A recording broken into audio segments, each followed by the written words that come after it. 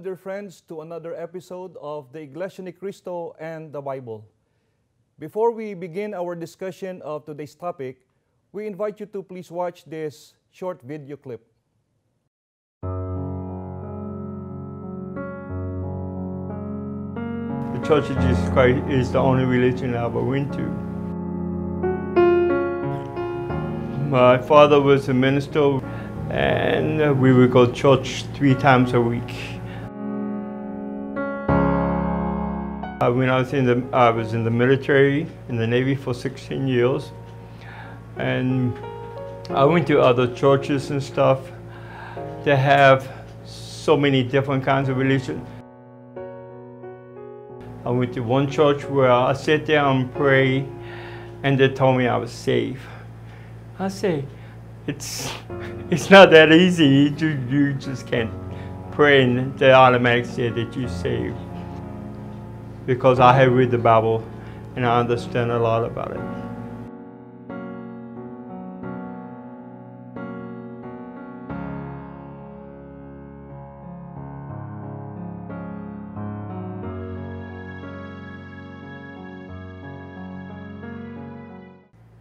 And I uh, listened to Iglesia Christa in the Bible, and everything they say is true. Remember in the Bible when they say a missional from the Far East?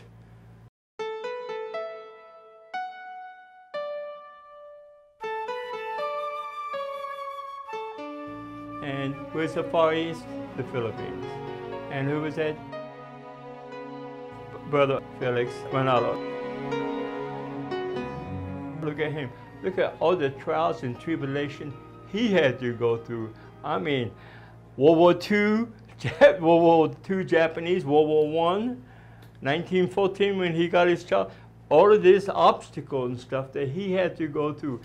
Everybody should realize it's just not one man. It's God. God's the one that's teaching him to do all this stuff. And that's how it should be.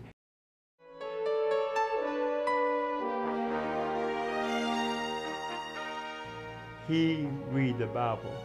He studied the Bible over and over again. And when he have ob- obstacles with other ministers and stuff, he come at them with the Bible, and they just wasn't ready for him. He they couldn't contradict what he says or nothing because he was the one fully prepared by God to teach it.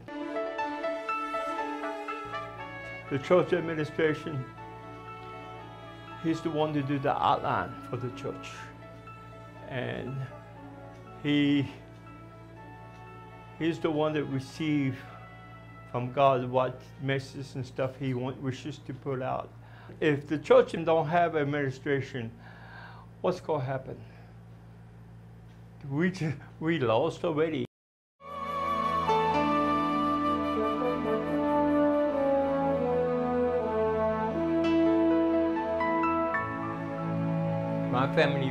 Went up to Manila.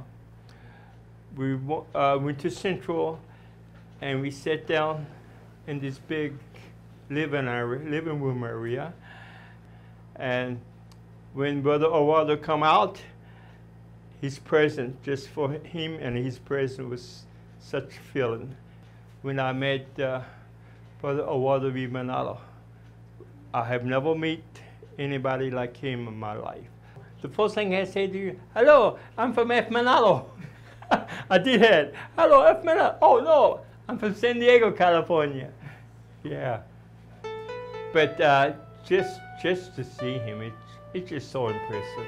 It's just, like I say, I was, I was having chills bump. I say, where's the power coming from? Because I, I can, the whole room, I can just feel this.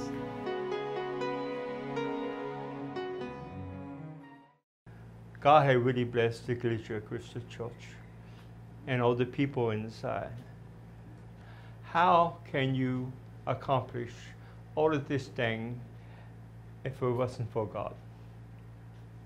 And God you, you use him as the instrument. But It is important for us to obey the administration, the church administration, because it all comes down to to teach us. He's teaching the words from the Bible, only from the Bible. Nothing else. He's not making up words. He's not telling lies. He's just telling the truth where he comes from the Bible. Every time I pray, I always pray church administration, watch over and keep them from safe harm and danger. Then at the end, I pray Brother Eduardo V. Manalo. I would say give him the wisdom and the knowledge to carry on and to do the will. Help him in his time of need. Keep him and his family safe from all harm and dangers. Not of you observers notice and are baffled by the high regard and respect that members of the Iglesia Ni Cristo or Church of Christ accord their spiritual leaders, foremost of whom is the executive minister of the church, who currently is Brother Eduardo V. Manalo. While many people admire such deference and submissiveness that Church of Christ members show with regards to their leaders, there are a few who label it as pure fanaticism or blind obedience. So, for the sake of our viewers and listeners, Brother Dennis, what is the basis of the Church of Christ members in showing great regard to their leaders and great respect and high esteem for those who look after their souls? Dear friends, Church of Christ members submit to the authority of their leaders not only because some rules of propriety or convention demand it, and definitely not out of force of habit or in observance of human tradition. Rather, they do so in obedience to God's commandment, as recorded here in Hebrews 13, and the verse is 17. Obey your spiritual leaders and submit to them, continually recognizing their authority over you. For they are constantly keeping watch over your souls and guarding your spiritual welfare as men who will have to render an account of their trust. Do your part to let them do this with gladness and not with sighing and groaning, for that would not be profitable to you either. Dear friends, our Lord God commands true Christians to obey and to submit to their spiritual leaders inasmuch as they keep watch over their souls or look after their spiritual welfare. Apostle Paul also pointed out that Christians should make sure their spiritual leaders do their work with joy and not with grief or groans, for that would be of no benefit to them. Now, Brother Dennis, is it only respect that Christians are commanded to give to their spiritual leaders? No, Brother Noel, our Lord God expects them to do much more, as articulated by Apostle Paul in his first epistle to the Christians in Thessalonica. In chapter 5, the verses are 12 down to 13. We beg you, our friends, to pay proper respect to those who work among you, who guide and instruct you in the Christian life. Treat them with the greatest respect and love because of the work they do. Be at peace among yourselves. Dear friends, Christians are duty bound to treat those who guide and instruct them in the Christian life with the greatest respect and love because of the work they do. And this is the main reason the Church of Christ members hold their spiritual leaders in the highest esteem and accord them genuine affection. God expects them to do nothing less. So, dear viewers, it is clear that the basis of the members of the Church of Christ in respecting, loving, and obeying their spiritual leaders, especially the executive minister, are the words of God written in the Bible. It is not fanaticism, nor is it blind obedience. Rather, it is in compliance with God's instructions. Now, why is it also proper and fitting for true Christians to recognize the authority of their spiritual leaders, particularly the minister entrusted to administer the whole church?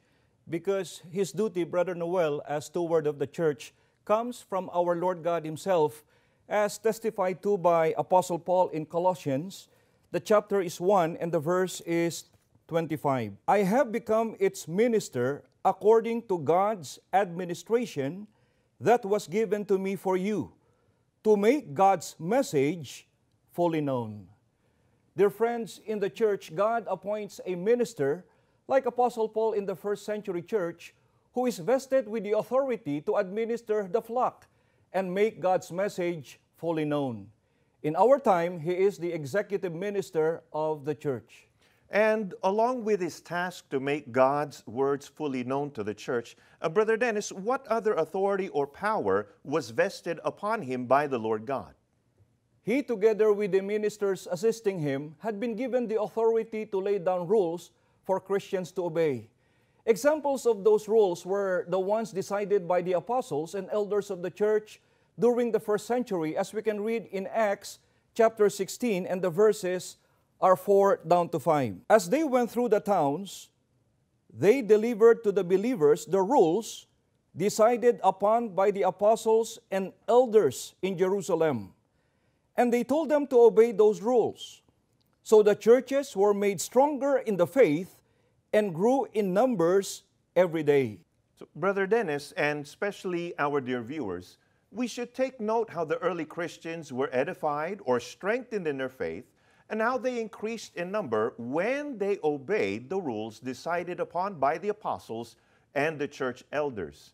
In other words, the members of the church themselves stand to gain if they submit to those rules determined by their spiritual leaders. And we should also point out, Brother Noel and their viewers, that those rules are made for the purpose of making sure that the teachings of God written in the Bible are strictly followed or obeyed.